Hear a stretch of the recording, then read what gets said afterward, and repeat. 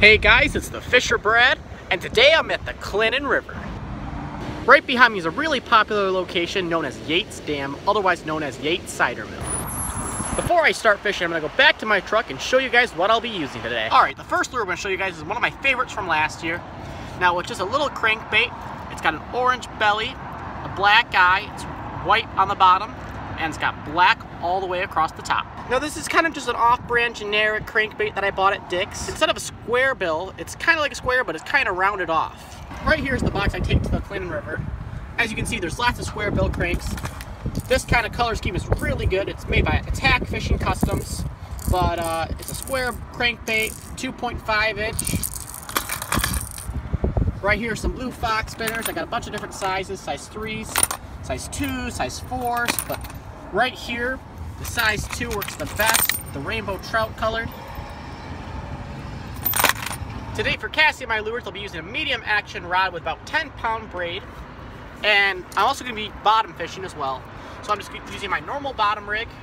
I got a weight and I got three hooks I'm to glob up with worms. Right now, guys, I'm at River Bends Park. It's a really good area on the Clinton. It's actually a pretty long stretch. But anyways, I'm in a perfect area right now to cast pretty much any kind of style setup I want to fish.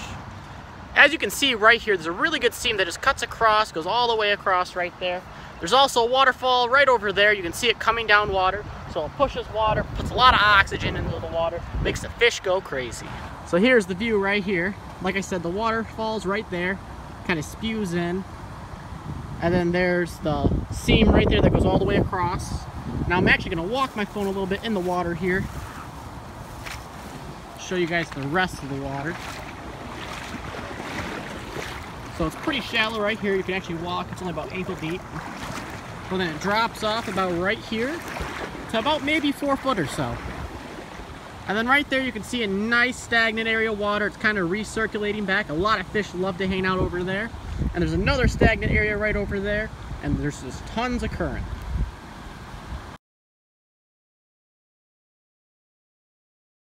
As you guys can tell, this is a really good area to fish. The fish just love it. It's like a big playground for them. So when you're out in the water, you kind of want to look for areas just like this, places where fish would love to be at. Right here, guys, was a really good spot for me last year.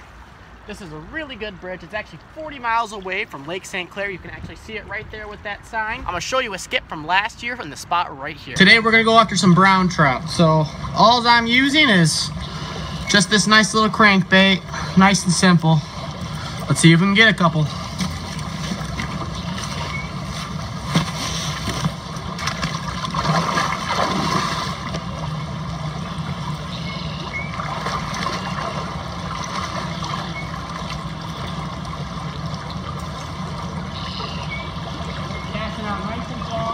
Nice and slow on the current. Makes it move fast, you have to go slow, enough speed so about fish can hit it.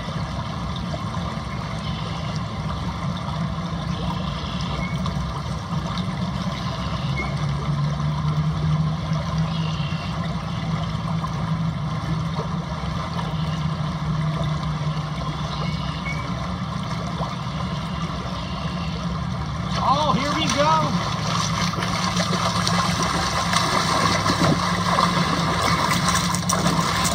Oh, that's a beauty. Check this out, guys. Man. Whoa. Check that out. Second cast. Gonna get all the grass out of the way so you guys can see this. Oh. Anyways, it had both hooks inside its mouth.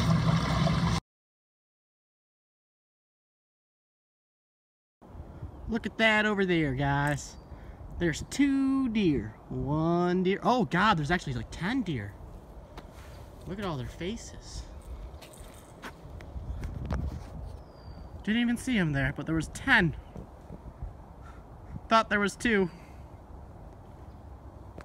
Hi, guys. Apparently they don't like the Fisher Brad.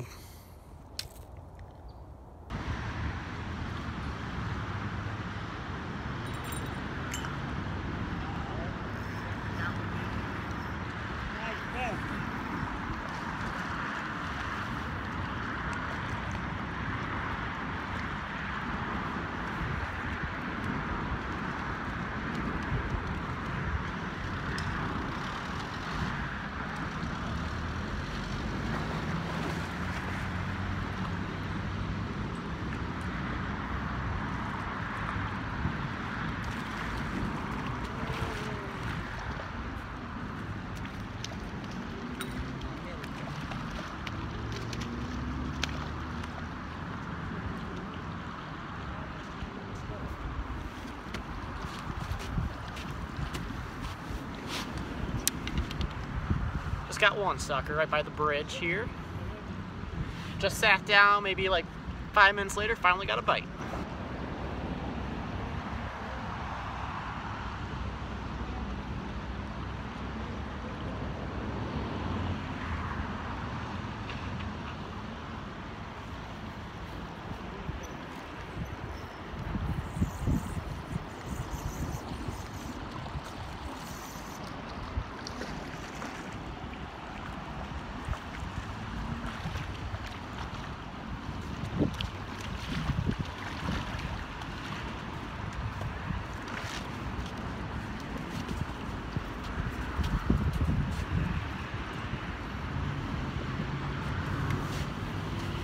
Got me a second sucker. Same type, one of those long nose ones. Stop. Oh jeez, it's getting all excited.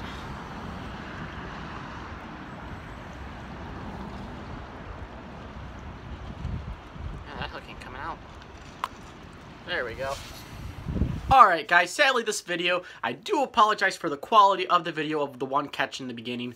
However, I actually had a lot of film. My GoPro SD card just got corrupted. I had three hours of film on it. I actually met some really awesome people too on the riverbank. I actually took some photos with some guys that actually knew me and watched my channel. I really appreciate you guys. I just sadly cannot put it in because my SD card got corrupted. I'm very sad I could have made this video at least 10 to 15 minutes. As you guys can tell, I love fishing all over Michigan. I have actually been traveling a lot lately on multiple fishing trips all the way across the state. I am trying to get as many different rivers on film as possible. So, if you guys see a river that you'd love to fish and you haven't seen me do any film on, I would love to go out fishing with you and get on some monsters. With that being said, all you gotta do is feel free to message me. You can message me on Facebook at Brad Dyer, on my Instagram at the underscore Fisher underscore Brad, or just message me on YouTube. Other than that, I am going to try to do some other local rivers around me. I actually looked on the map and I found four different rivers that are really close to me. So hopefully I can get some awesome fishing action there. Some really good locations is Riverbends Park and Dodge Park. The reason why they're so good is because they're pretty much dug out, so there's actually a lot of deep pockets where fish can stay all year round in. It makes it really good. Plus, it's so close to Lake St. Clair. About 40 miles is about the spot where I showed the catch at. And about, I think it was like 36 maybe miles or so where the dam is. That bridge where I was catching the suckers at was right by the dam but it was just a little bit downstream right by the road where the street light is. One of the parks I ended up visiting was the old park I went to last year, which was Riverbends Park. It's a really good park. There's actually a long stretch of river. It goes miles and miles and miles. That makes it really easy, too, for knowing where you're to fish and how to target the fish. You can always go slow right in the deep pockets, like in that one video I showed. It's a lot deeper on the side I was casting to than where I was standing. My one buddy fishes the Clinton River a lot just because he lives there. I'm the exact opposite. I live about an hour to an hour 20 minutes away from the spots I was fishing at today. So, with that being said, I only got to go out there one time this year or two times. It was a lot of fun still. I still caught fish, so I was kind of glad on that, but I really did have to work for them. Sadly, like I said, GoPro footage not being there really sucked. I had to make this whole video based off what my phone picked up. But anyways, I hope you guys get the gist of it. It's pretty easy to catch fish there with crankbaits, also with worms. Actually, a lot of people when they go there, they go fishing for suckers there with worms and they end up catching steelheads. That video of the brown trout catch was also my very first video I ever made for YouTube. So, it was kind of cool going back to see how far I actually came in one year. I typically go there maybe two or three times a year. I really don't go there very much unless I'm in the area. If you really like this video, I'd really appreciate you giving a like, comment, and subscribe. Have a great day, guys. No, I can't say hi. Bye, dear.